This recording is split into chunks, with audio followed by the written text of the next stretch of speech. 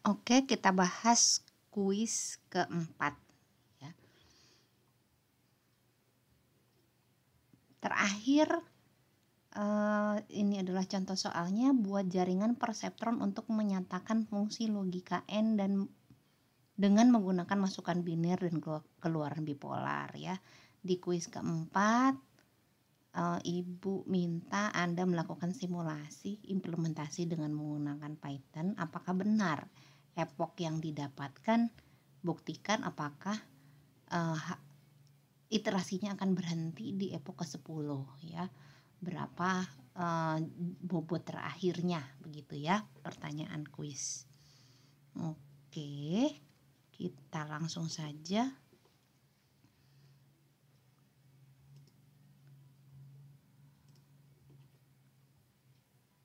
Ya, kalau kita lihat yang kemarin sebelumnya, contoh soal sebelumnya dengan gerbang logika OR ya. Kita sekarang pengennya dengan logika, eh, gerbang logika N ya. Kita ganti gerbang logika N di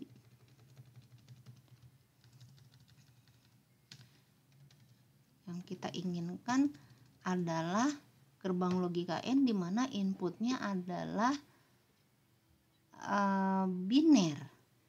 Ya. Contoh soalnya tadi di sini. Oke. Masukkan biner keluaran bipolar ya. Masukkan biner keluaran bipolar. Inputnya kita pingin biner dan outputnya bipolar. Thresholdnya 0,2 ya. Alfanya alfanya satu. Ya. Alfanya satu thresholdnya 0,2 nah kalau yang program sebelumnya eh, alfanya 0 ya tidak ada. Eh, maksudnya thresholdnya 0 ya. Fungsi aktivasinya kita gunakan fungsi aktivasi bipolar bipolar dengan threshold. Ya. saya tambahkan di sini dengan threshold. Oke. Nah kita akan buktikan bahwa bobot akan selalu diperbaiki setiap iterasi berapakah jumlah epok yang terjadi dan berapakah nilai bobot akhirnya sampai hasil Fn sama dengan target?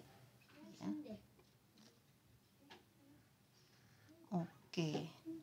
Nah karena ini kita setting gerbang N 1 1 1 0 0 1 0 0 inputnya bipolar ya. Inputnya bipolar inputnya biner ya ibu ganti inputnya biner eh, satu satu satu nol nol satu dan nol nol. Ini adalah kombinasi inputnya.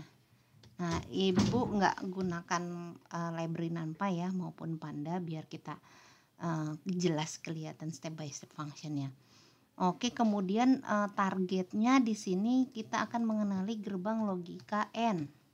Di mana gerbang logika N-nya itu outputnya adalah bipolar 1 min 1 min 1 min 1. Ya. 1 min 1 min 1 min 1. Kita setting nilai alfa sama dengan 1 bobot W 0 ya B-nya juga 0 inputnya kemudian uh, threshold.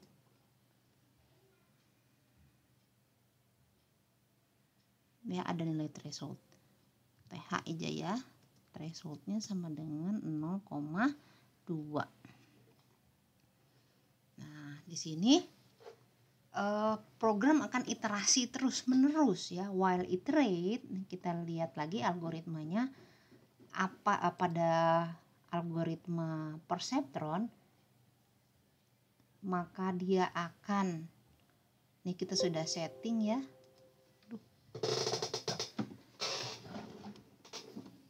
Kita sudah setting.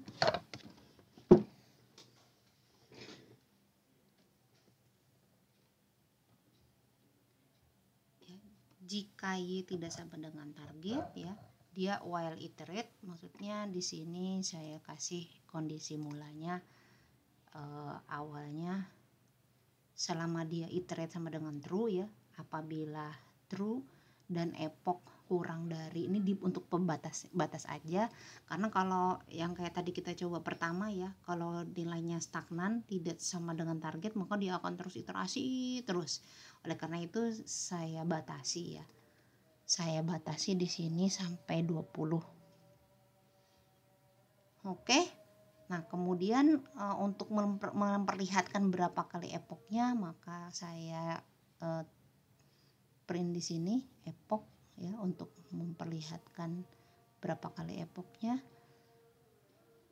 Oke. Nah e, kita ketahui bahwa nilai e, algoritmanya adalah dia akan melakukan iterasi setiap siklus pembelajaran dari input ya.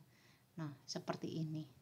Ini ada empat kombinasi input. Ini adalah epok yang pertama. Epok pertama apa yang dilakukan? Dia perbaharui bobotnya dia hitung delta B. Kemudian dia hitung W baru dan W lama berdasarkan dari W lama. Ditambahkan delta W. Setiap mendapatkan input sejumlah 1 2 3 4 oleh karena itu di sini saya set in range 4J in range 0 sampai 4 ya karena ada 4 kali kombinasi input. Ya oleh karena itu nilai netnya kita dapat uh, menghitung input dikalikan bobot ya ditambah X dikalikan bobot W2 ya X1 kalau kalau di program itu uh, kalau di perhitungan kan W1 W2 ya. Tapi kalau untuk di di realisasinya di sini saya gunakan uh, kalau untuk perhitungan matriks itu 0 ya. Order 0 0 0 dan 1 oke kemudian ditambah bobotnya.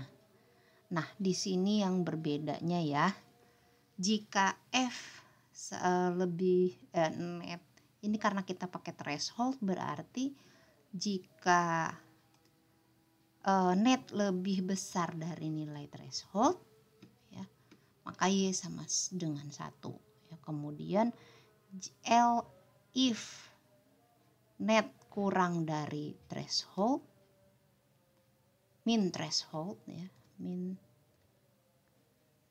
apa theta atau threshold boleh threshold saja ya sama dengan minus satu.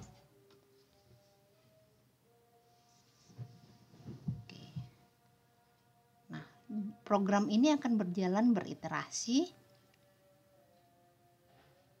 dan memperbaharui bobotnya. ya di mana perubahan delta W1 itu akan sama dengan alpha learning rate dikalikan target dikalikan input ya. Saya akan memunculkan di sini berapa sih delta W-nya ya. Kemudian delta W2-nya juga ya. Kemudian dihitung berapa bobot barunya. Dimasukkan ke variabel baru. Nah kalau kita lihat di sini W baru adalah W lama ditambah delta W dimasukkan lagi ke variabel W. Maka kita akan mendapatkan hasil seperti ini. Begitu juga pada bobotnya. Coba kita run ya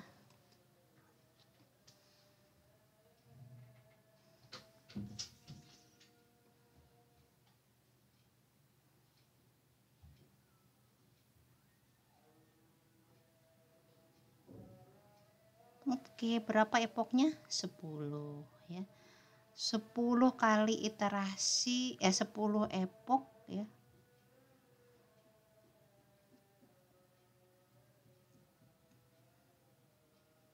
10 siklus iterasi ini maksudnya epoch itu sebenarnya uh, siklus ya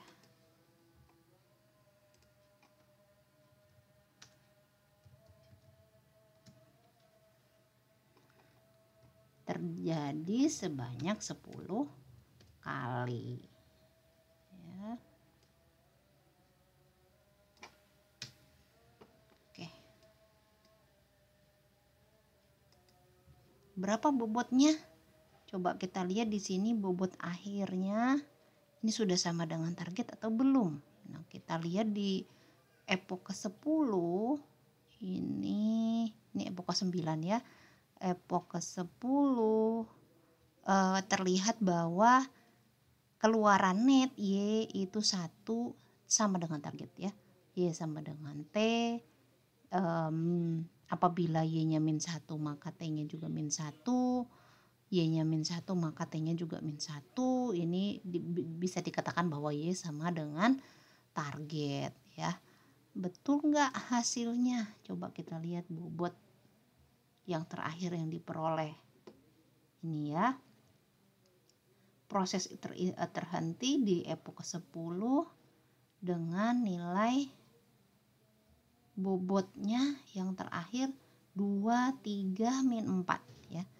W1, W, W1 nya 2, W2 nya 3 dan B nya minus 4 ya 2, 3 dan minus 4 nah sudah tidak berubah di uh, di epoch yang terakhir. Ya terbukti ya bahwa eh,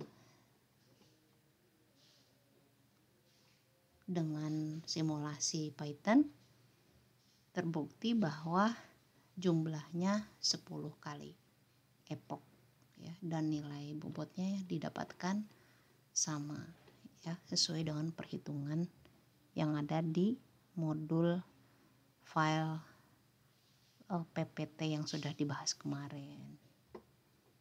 Oke.